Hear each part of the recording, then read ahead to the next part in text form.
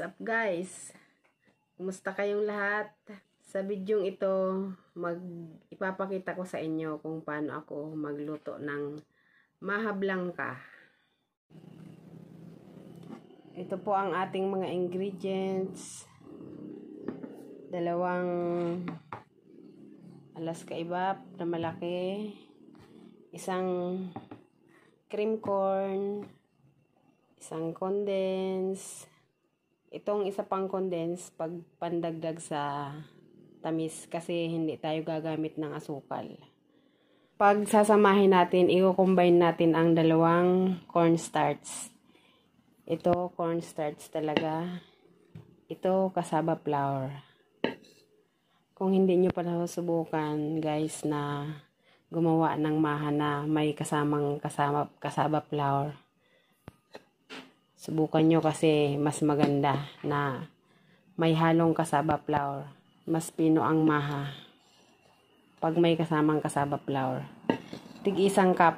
Isang cup na kasaba flour. Isang cup na cornstarch. Hindi na tayo gagamit ng gata.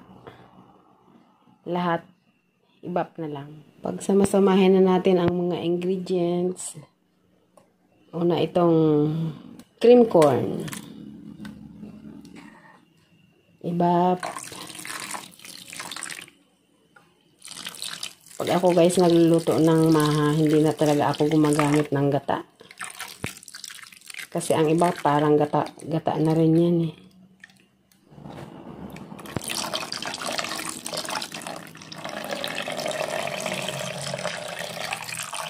Ang tamis nito, depende na lang sa inyo. Pag medyo matabang yung isang condense, dagdag, dagdag na lang kayo. Condense.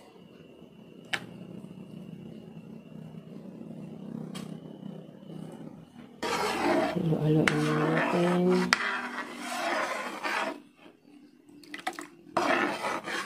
Ang ating cornstarch.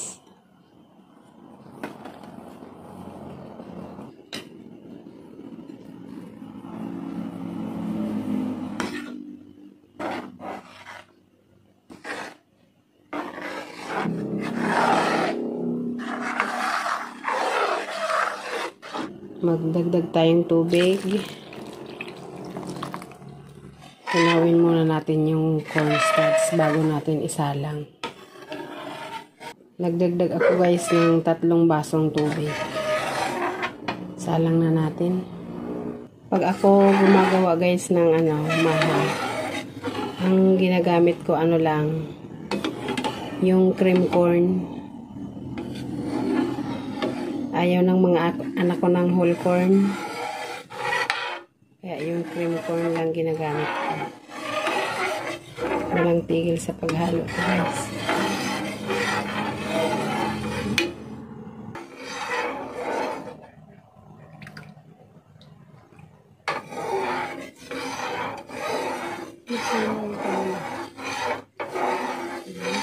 Tuloy-tuloy lang Halo nito guys hanggang sa maluto. Basta yung ilalim nito tumitigas kasi oh, pag hindi oh. Hindi tuloy-tuloy. Kahit tuloy-tuloy halo. Simula lang tumigas ilalim.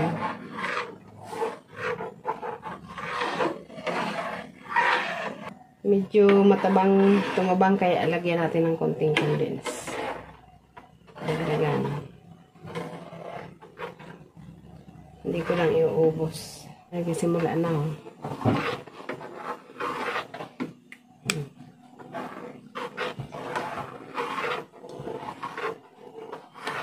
Tuloy-tuloy na talaga yan. Hindi na dapat tigilan sa paghalo.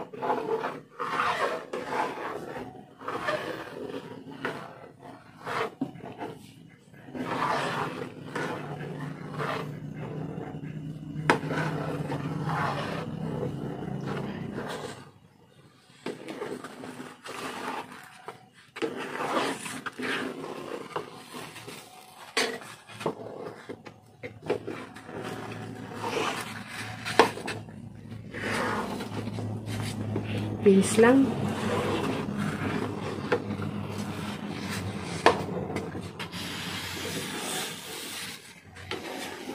Pag natuyo na yung gilid,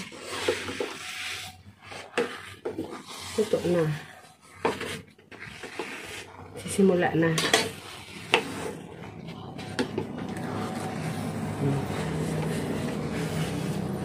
Yan o. Oh.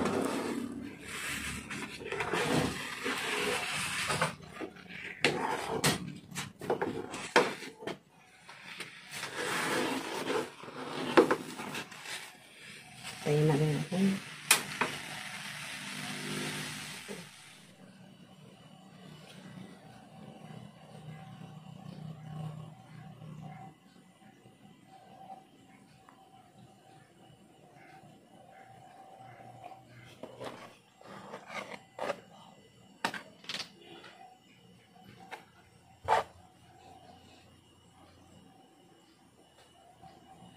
Bango.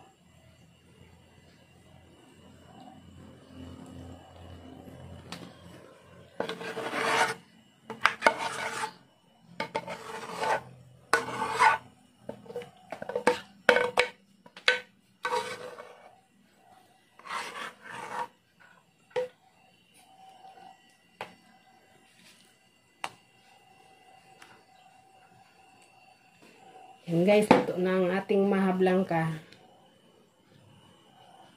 Tikman natin guys kung ano lasa.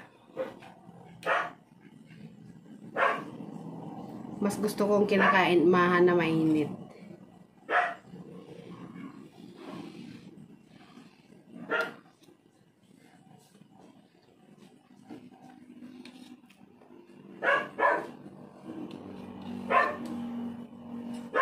Masarap mas gusto ko talaga na pinagsa, pinagsasama ang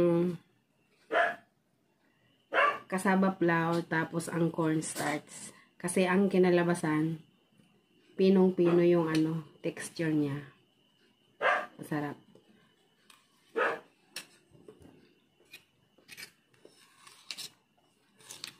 Guys, pag nag, kung nagustuhan nyo ang aking video, huwag niyo pong kalimutang mag-subscribe at mag-like. Maraming salamat sa inyong panonood.